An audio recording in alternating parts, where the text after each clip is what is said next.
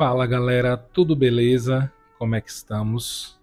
Estamos bem? Estamos entendidos? Todo mundo acompanhando? Estamos já na forma da esfera, né? Na aula passada, que foi a aula 13, é, eu trabalhei a construção de um único desenho de esfera, é, utilizando um ponto de fuga e trabalhei com os lápis de cor, né? Peguei uns lápis de cor que eu tinha aqui, um azul, um verde e um vermelho, a trabalhar essa construção para não atrapalhar. Eu, como eu, a diferença dessa aula, da aula número 13 para as outras aulas, sem ser o exercício, né? Estou falando da aula.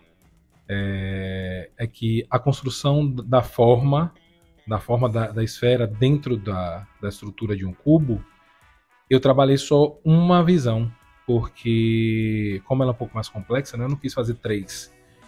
É, mas eu vou repetir esse desenho ainda algumas vezes, então eu acho que vai ficar claro, mas eu quis fazer isso de uma maneira mais cuidadosa. Utilizei a régua, né? Utilizei o material técnico aqui, peguei uma reguinha aqui, suja, dar uma limpada aqui nela. Vamos ver se agora ela não suja tanto assim o papel. Vou trabalhar, eu fiz um desenho abaixo do nível do olhar, né? Só. Mas eu vou trabalhar com um ponto de fuga, um desenho abaixo do nível do olhar, um entre e um acima, né? Um de cada. São os exercícios. Vou começar esse aqui por um abaixo do nível do olhar. Vou fazer no mesmo esquema, utilizando a linha do nível do olhar, né, usando material técnico, linha do nível do olhar, um ponto de fuga. E os lápis de cor. Né? Então vamos lá. Vai ser um ponto de fuga só, então. Linha no nível do olhar, ponto de fuga, vou trabalhar ele aqui no meio. Eu vou tentar deixar dessa, dessa vez mais retinho, para ver se não distorce, né? Como da outra vez. Vou determinar um quadrado aqui e vamos lá, vamos representar colocar ele bem para baixo aqui, né? Sei, vou ver se eu coloco, faço um quadrado com... Quanto maior eu fizer, melhor, né? Vou trabalhar esse aqui com 10 centímetros. Eu lembro que na aula passada eu fiz um com 8 centímetros e meio. Eu vou ver se eu trabalhando esse aqui com 10 centímetros. Ele vai dar uma diferença em termos de, de acerto mesmo, né? Eu fiz a, a representação do cubo ficou deu um problema na esfera.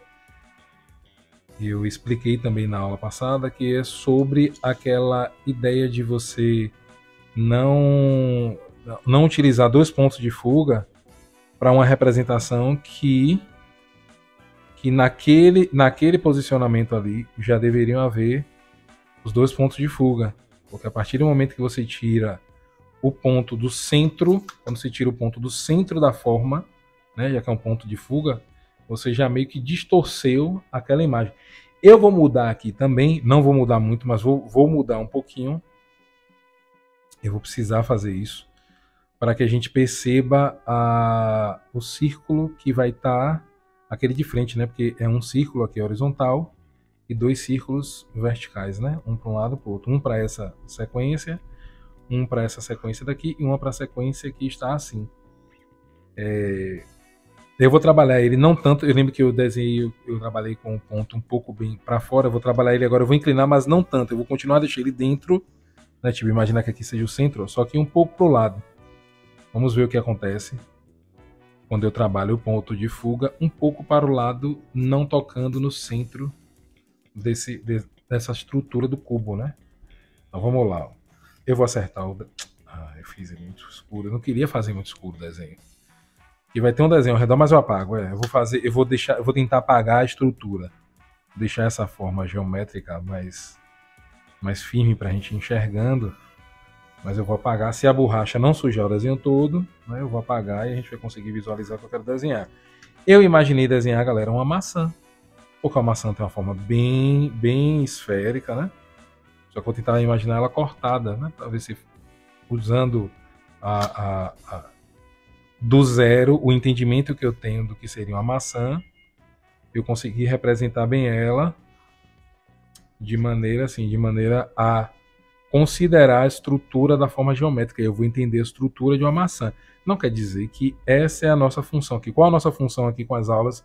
Temos que aprender a desenhar cadeira, temos que aprender a desenhar maçã, temos que aprender a desenhar tronco de árvore. Não é, na verdade eu quero que vocês consigam associar qualquer coisa que vocês pensem em fazer a essas formas geométricas, né? a tudo isso daqui.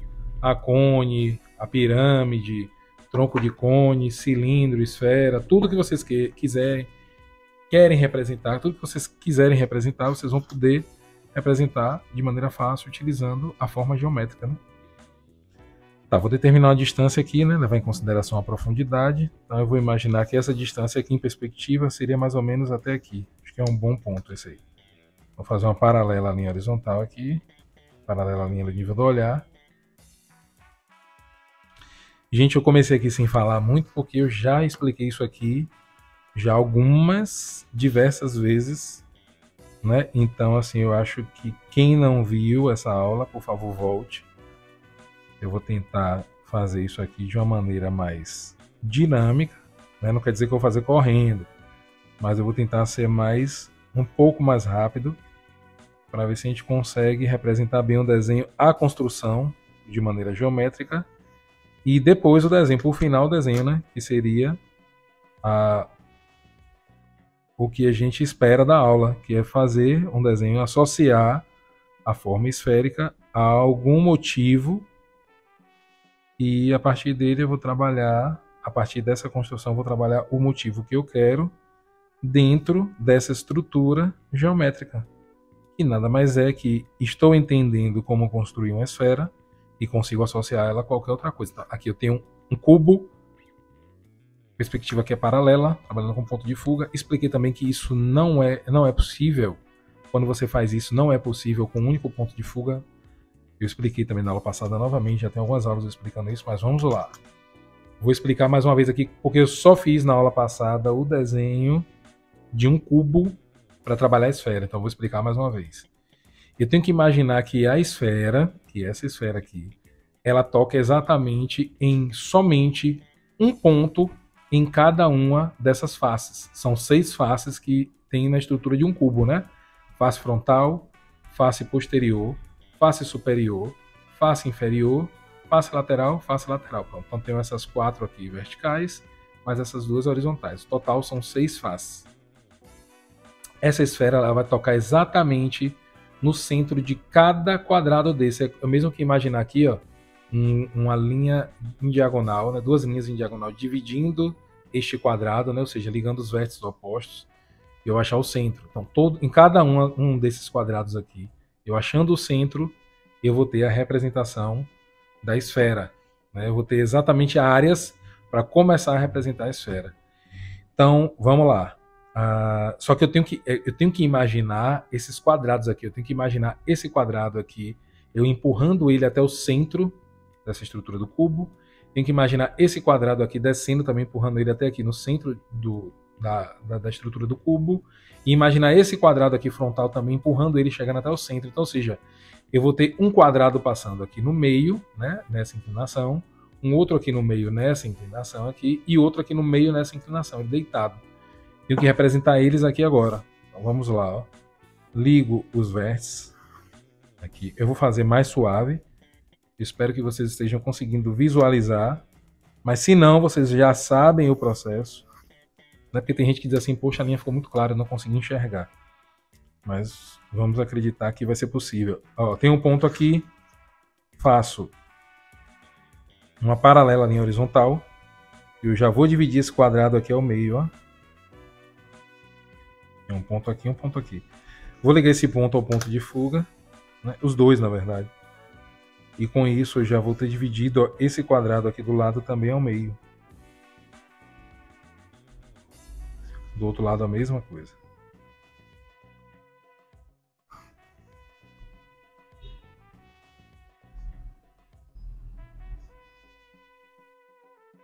E agora a junção entre esse ponto e esse seria exatamente já a representação do quadrado. Eu estou imaginando aqui ó, um quadrado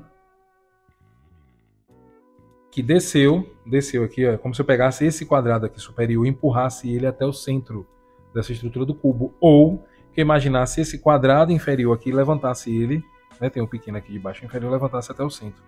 Nesse quadrado agora eu vou trabalhar a construção da do círculo. Quero fazer um círculo em perspectiva aqui. Como é que faço um círculo em perspectiva? Eu preciso fazer três círculos em perspectiva aqui no caso. Três círculos ou três círculos em perspectiva, depende do ângulo que você está olhando. Então, como é que eu faço? Eu ligo os vértices, acho o centro. A partir do centro eu faço duas linhas em paralelo, a linha horizontal e vertical. Então aqui, linha vertical aqui, ó. Ela está indo em direção a este ponto. É, ele tem que tocar aqui, ó, nesse centro, que é o centro desse quadrado. Já coincide, é um eixo. E o outro está passando aqui no meio. Que é uma paralela linha horizontal, uma paralela linha do nível do olhar. Então aqui eu vou imaginar uma paralela linha do nível do olhar. Este ponto aqui e este ponto aqui.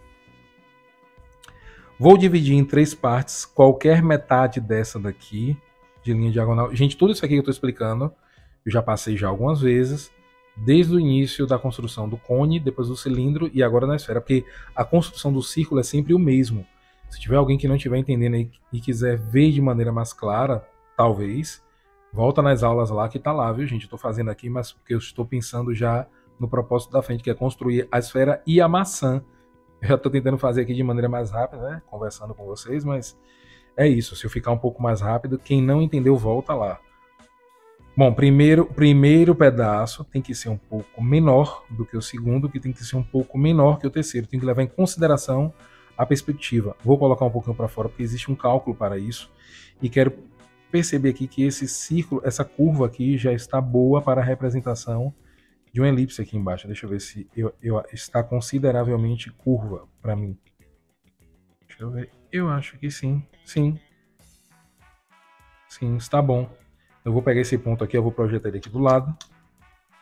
Como é que eu faço? Faço uma paralela que é a linha horizontal, ou as linhas, a linha do nível do olhar.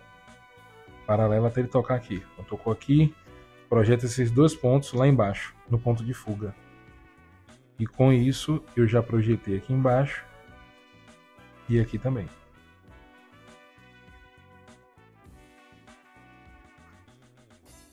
Aqui, ó. Aqui, pronto. E aí eu vou ligar agora todos os pontos. Na verdade, eu achei que essa curva até ficou um pouco fechada, né? É porque mesmo com todo o material e com todo o cuidado, às vezes a gente acaba se atrapalhando. Exemplo, eu achei realmente que esse ponto foi um pouco mais para dentro, poderia ser um pouco mais para fora. Mas não tem problema, estou tentando acertar ele aqui, ó, cuidadosamente, sem muita distorção. Aí se ele sai um pouquinho, ele já desce um pouco mais aqui, ó, ele já fica um pouco maior aqui. E aí vai.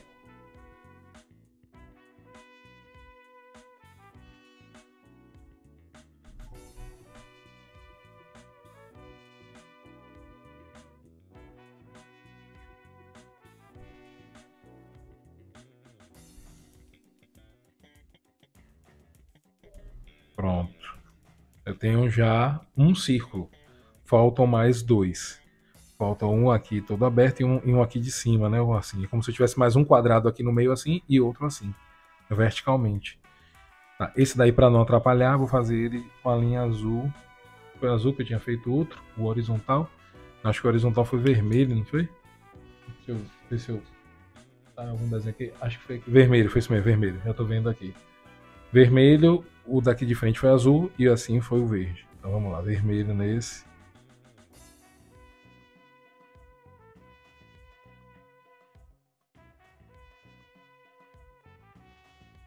Vermelho aqui. Ok. Trabalhar outro quadrado agora. A partir desse ponto daqui, que é o centro desse quadrado aqui na frente, faço uma paralela linha vertical. Olha aí. Vou pegar esses dois pontos e vou ligar os dois ao ponto de fuga. Aqui, até tocar lá do outro lado, ó. Já tem um quadrado aqui, já vai aparecer um quadrado bem estreitinho, mas vai aparecer.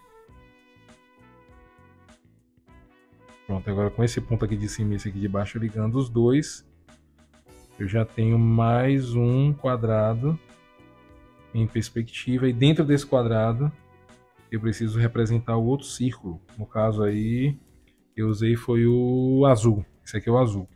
Vou ligar as diagonais. Imagina aqui as diagonais. Eu tenho o centro. Aí eu divido, eu faço uma linha aqui, ó, uma paralela linha vertical aqui. Tocou aqui em cima, tocou aqui embaixo.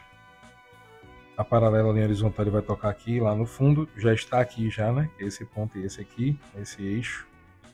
Eu tinha feito também o eixo, né? Eu marquei os eixos. Aqui é o eixo. E divido em três partes aqui, levando em consideração a distorção. A distorção. Então, o primeiro espaço tem que ser menor que o segundo, menor que o terceiro. Eu coloco um pouco para fora, projeto isso aqui embaixo, fazendo uma paralela. É, gente, é um conhecimento técnico que é meio confuso. No início é confuso, mas, claro, isso é só o exercício. Nós não vamos fazer isso aqui o tempo inteiro. Não é que eu vou desenhar uma maçã, preciso fazer isso. Eu estou fazendo agora. Eu preciso que vocês tenham isso aí na mente de vocês. É preciso isso ficar claro e, uh, e in, in, tem, tem que ser entendido, né? Essa, esse, esse, essa introdução, esse entendimento aqui, essa construção, ela é necessário para que o aluno consiga associar a dimensionalidade, a tridimensionalidade da forma esférica em qualquer outro suporte. Viu, galera? Isso aqui nada mais é que aprender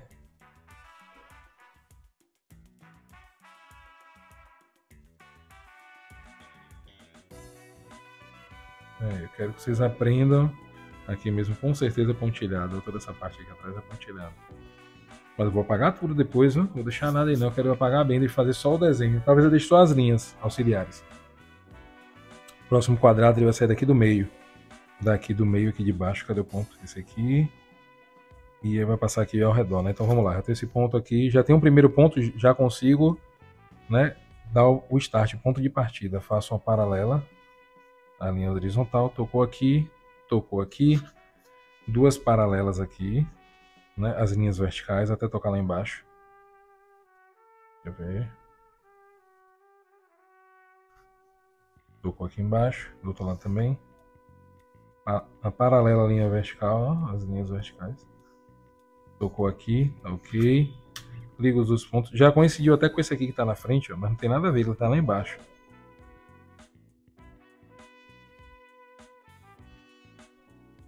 Aí. Esse quadrado aqui, ó. Aqui ele é pontilhado, eu não vejo ele. Aqui também ele é pontilhado. Está por dentro. Aqui embaixo também ele é pontilhado, está por dentro, lá embaixo. Eu só consigo ver dele só essa face aqui, só essa. E dentro dele eu vou trabalhar. Ligo os dois pontos. Acho o centro.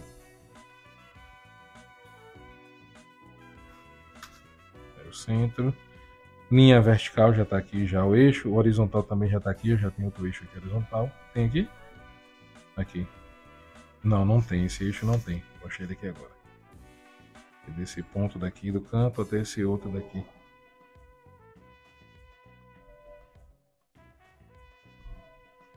Aqui. Tocando aqui, tocando aqui. Tem essa vertical, divido em três partes. Como aqui está em verdadeira grandeza, eu divido exatamente em três partes iguais.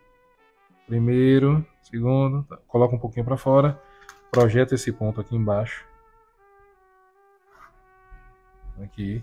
Projeto ele dos outros dois lados. Olha aí. Aqui também. E aí eu vou ter, cadê a divisão dele? Aqui. Pronto, só ligar esses pontos aqui, ó. Esse final com esse aqui. Embaixo. Esse aqui é um círculo mais preciso, né? Porque ele está de frente, ele fica um círculo mais exato. Pelo menos a visibilidade dele é que ele seja um círculo. Mas por incrível que pareça, ainda tem uma distorção aí. Sutil, mas tem. Né? Porque eu tirei do centro. Já dá meio que uma deformada na, na forma geométrica, né? Mas vamos lá. Vamos seguindo e tentando. Daqui a pouco vai melhorar, porque a gente vai trabalhar com dois pontos de fuga, então eu vou conseguir ter uma precisão melhor nessa representação. E vocês vão ver. Tá, é o seguinte, ó, eu vou imaginar aqui já que agora no final de tudo, no final de tudo isso, olhando para uma esfera, olhando para essa representação, você tem que entender que sempre, sempre a representação da esfera será um círculo, será um círculo perfeito. Poder pegar um compasso aqui e fazer, mas não preciso. Eu vou olhar aqui, eu vou, vou imaginar o extremo aqui em cima, o extremo aqui do lado, o extremo aqui do outro lado, o extremo aqui embaixo e ligar esses pontos. E com isso eu preciso ter, deveria ter, deveria, né? Não quer dizer que vai ser, uma esfera, um círculo perfeito. Um círculo exato aqui. Eu não sei se vai ser. Provavelmente não, não vai. Ó, já está meio comprido. Eu devo ter dado, eu devo ter deixado muito longo esse espaço. Essa distância em perspectiva do cubo não funcionou para a minha representação. Mas virou um oval não tem problema. O conceito da construção é o mesmo ao redor da forma. A gente tem aqui. Só que eu vou explicar algumas coisas aqui agora nesse desenho que eu acho que vai ajudar vocês. Vou explicar um negocinho aqui. Primeiro passo, vamos apagar tudo que a gente não quer. Eu sei que vocês queriam ver isso aqui depois, mas vocês podem voltar ao desenho aí. Eu vou apagar isso aqui porque senão vai ficar muito embolado.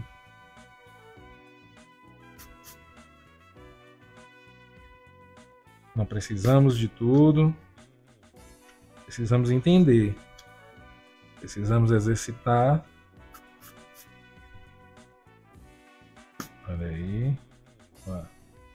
Ó, eu não marquei os eixos. Os eixos são importantes. É onde se encontram os, os, os como é, as, as elipses, os círculos. Então tá, eu vou imaginar que esse eixo aqui do fundo aqui, ó, que vem aqui para frente, do vermelho para o vermelho, isso aqui é um eixo azul. Esse eixo horizontal assim frontal. Imaginar que esse aqui atravessando aqui do lado de cá ao lado de lá é um eixo vermelho.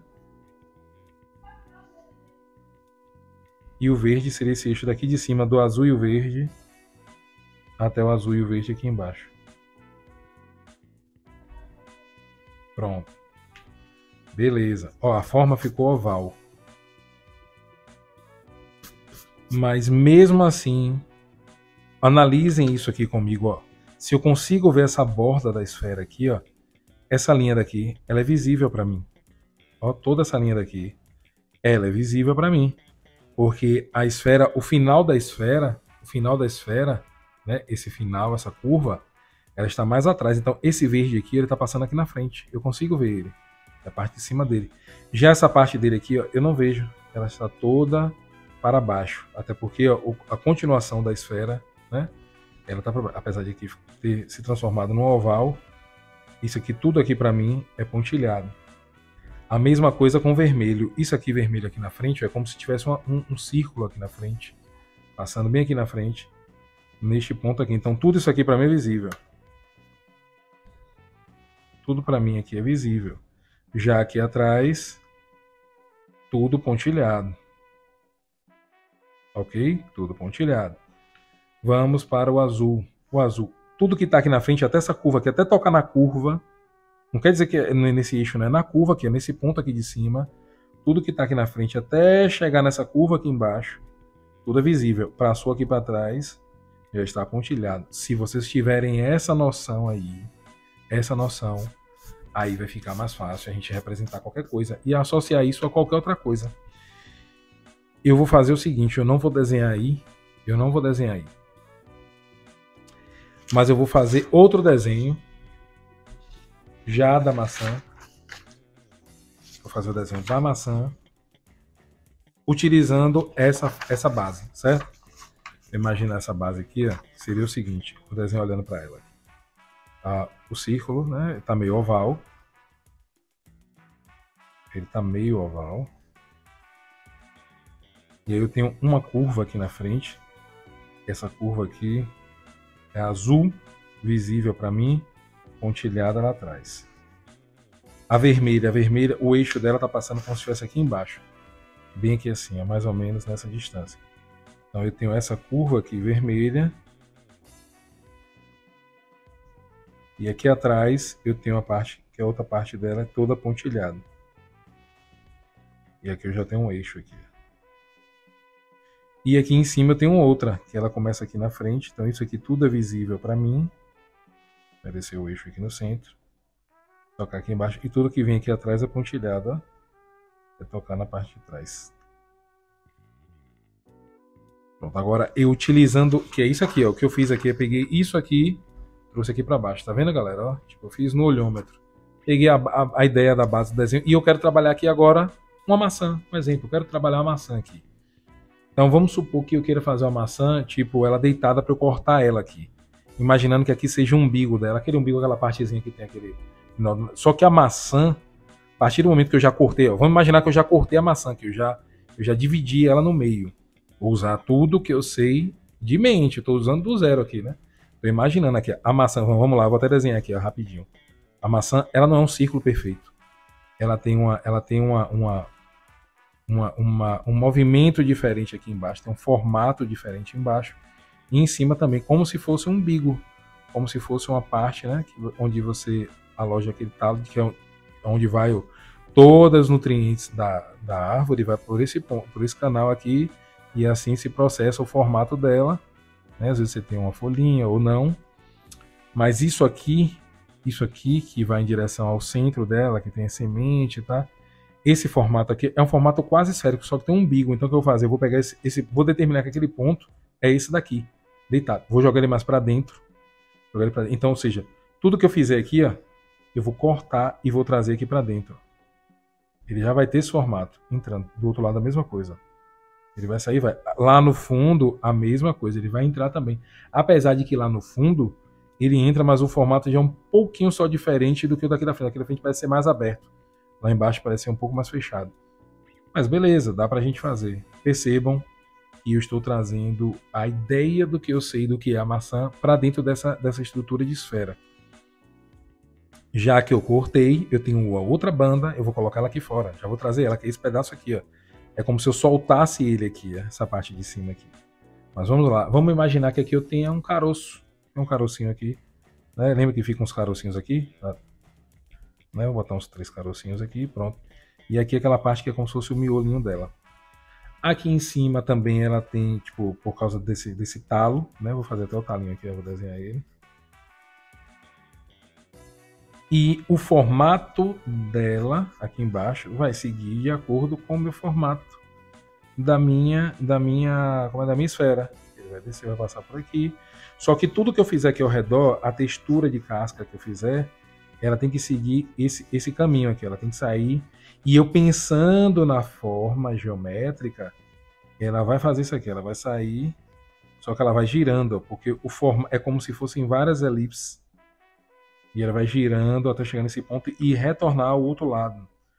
Vocês conseguem entender isso porque é como se fosse vários cortes. É como se eu estivesse seccionando ela. Como é que eu poderia fazer isso? Deixa eu ver se eu consigo explicar isso melhor. Bom, imaginem aqui, ó. Uma esfera, um eixo, a curva. E essa curva vai lá para o outro lado. Tem um eixo aqui. Se eu cortar com se eu fizer esse corte aqui várias vezes seguidamente, sempre ele saindo daqui, descendo, voltando aqui do outro lado, eu vou, eu vou ter exatamente isso que eu falei aqui, ó, uma sequência de curvas, uma sequência de curvas aqui mesmo, ele se transforma numa linha reta e assim vai, ó. À medida que abriu, a curva já é mais fechadinha. Eu consigo, uma vez entendendo isso daqui, fica mais fácil. Opa, fica mais fácil essa ideia do corte, porque aqui é isso que acontece. Ó. O corte na maçã ele é feito para seguir o movimento do corpo dela. E aí eu poderia fazer uma textura suave aqui, né? Poderia sombrear aqui com aquele efeito do que aqui é, tem umas fibras, né? A maçã ela tem um desenho assim, tipo, como se fossem fibras, tem uma, umas áreas são um pouco mais escuras. Deixa eu usar um lápis um pouco mais.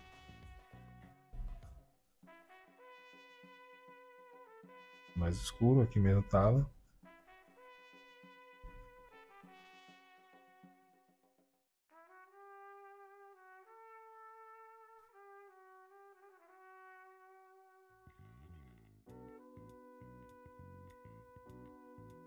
Pronto.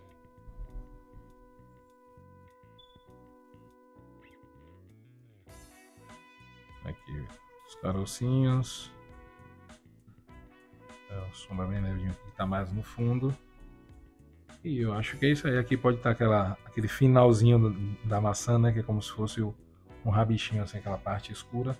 Bom, se eu imaginar esse outro corte aqui, esse corte aqui, se eu imaginar ele deitado aqui, ó, é só fazer o corte aqui, imaginar o tampo, ou seja, é o oposto desse daqui. Eu vou imaginar isso aqui emborcado aqui. Eu posso deitar aqui, o eixo pode ser esse. Então eu tenho aqui a reentrância é essa daqui.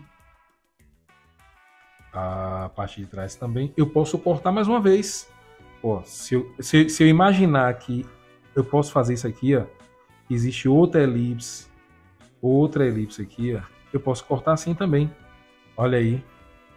Consegue entender a ideia, por que, que é importante. Esse aqui foi do primeiro corte. Aqui eu já, tá, já estou trabalhando outro corte aqui. Ó. Por que, que é importante entender a estrutura do que você quer fazer para você poder manipular, seja lá o que for que você quer desenhar.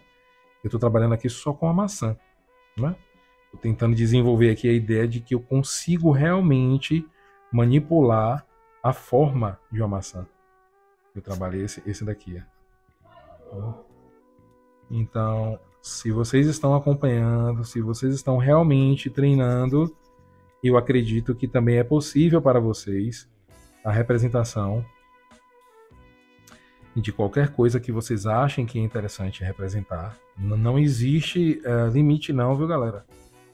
É, a gente vai trabalhar anatomia humana, eu quero ver, quando começar a trabalhar anatomia humana, vocês vão dizer, pô, realmente é fácil. Claro, é fácil. Você treina, se você entende do processo, se você entende da construção, você consegue associar para qualquer coisa que você queira fazer.